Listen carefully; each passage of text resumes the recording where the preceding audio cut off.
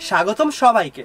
আমি বাপ্পি, আর রিডার্স ভিউর আজকের পর্বে আমরা যে বইটি নিয়ে কথা বলব, তার নাম অস্পৃশ্যতা।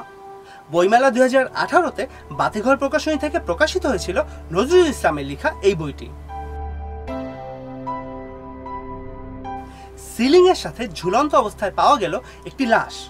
সবাই আত্মহত্যা বলে চালিয়ে দিতে চাইলেও সাব ইন্সপেক্টর ফাইয়াস তা মানতে নারাজ। তদন্তে বেরিয়ে এলো বেশ কিছু চমকপ্রদ তথ্য। আট বছর আগের এক খুনের সাথে যোগসূত্রও খুঁজে পেল সে। টের পেল দৃশ্যপটে কেউ না বললেও আড়াল থেকে কেউ একজন ঠিকই কলকাঠি নেড়ে চলেছে। ওদিকে অবসরপ্রাপ্ত হোমিসাইড ডিটেকটিভ ফারুক আবদুল্লাও শান্তিতে নেই। যেদিন সাব ইন্সপেক্টর ফাইয়াস তার দরজায় কড়া নাড়ল, সেদিন থেকে অপরাধবোধ কুড়ে কুড়ে খাচ্ছে তাকে। বৃদ্ধ বয়সে সে নতুন করে নামলো আট বছর আগের সেই খুনের তদন্তে। কিন্তু কিছুতেই উত্তর মিলছে না। সবকিছুই যেন ধোঁয়াশা। আবার সুন্দরী তরুণী লাবণীর চারপাশে যেন ঘিরে আছে একটি ছায়া। অনুমান করা কঠিন নয়, তবে পুরোটা জানতে গেলেই ঘটছে বিপদ। ধীরে ধীরে রহস্যে জড়িয়ে যায় আরও কিছু চরিত্র। এদের সবাইকে একই চক্রে নিয়ে এসেছে আট বছর আগের সেই খুনটি, যেখানে এদের যে কোনো একজন ছাড়া চক্রটি অসম্পূর্ণ। সবার কাছে এজন এক অস্পৃশ্যতা, যা শুধু অনুভব করা যায়, কিন্তু ধরা যায় না। কীভাবে শেষ হবে এই চক্রের? কি পরিণতি অপেক্ষা করছে এদের সবার জন্য? বইটির ভূমিকাতে লেখক নজরুল ইসলাম বলেছেন, জাপানি উপন্যাসিক কিয়েগো হিগোশিনোর জার্নি আন্ডার দ্য মিডনাইট সানের কাঠামো অবলম্বনে রচিত হয়েছে এই বইটি। এটি নজরুল ইসলামের লেখা প্রথম বই। দেশীয় প্রেক্ষাপট পরিচিত আমেজে যথেষ্ট সাবলীলভাবে বর্ণিত হয়েছে আগাগোড়া কাহিনী।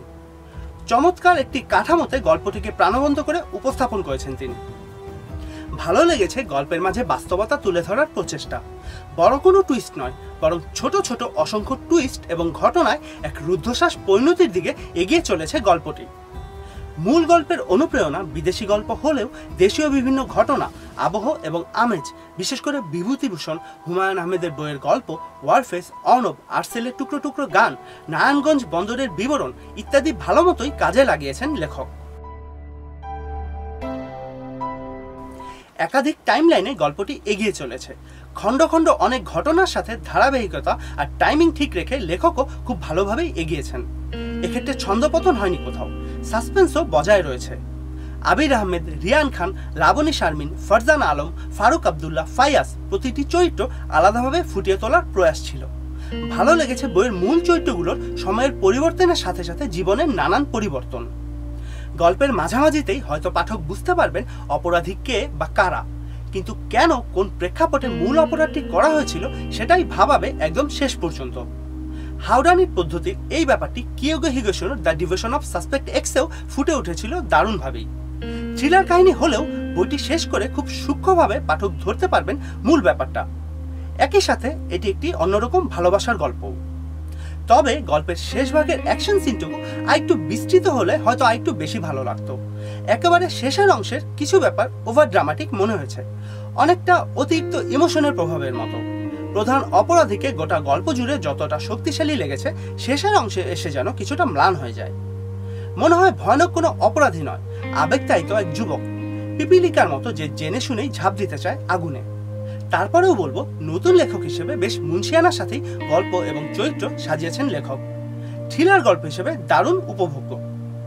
দুশো ষাট পৃষ্ঠার এই বইটির গায়ে লেখা মূল্য দুশো চল্লিশ টাকা। গল্পের আবহ আর মূলধারার সাথে মিল রেখে কাব্যিক এক প্রচ্ছদ উপহার দিয়েছেন ডিলান। আমাদের শুভেচ্ছা রইল নজরুল ইসলাম এবং বাতিঘরের প্রতি। আশা করি এমন বই আমরা আরও নিয়মিতভাবে পাবো। রিডার্স ভিউতে আমরা সবসময় চেষ্টা করে থাকি আমাদের পছন্দের বইগুলো আপনাদের সামনে তুলে ধরবার। আমাদের এই প্রচেষ্টা আপনাদের কেমন লাগে জানাতে ভুলবেন না। সাবস্ক্রাইব করুন আমাদের এই ইউটিউব চ্যানেল এবং আমাদের সাথেই থাকুন। ধন্যবাদ।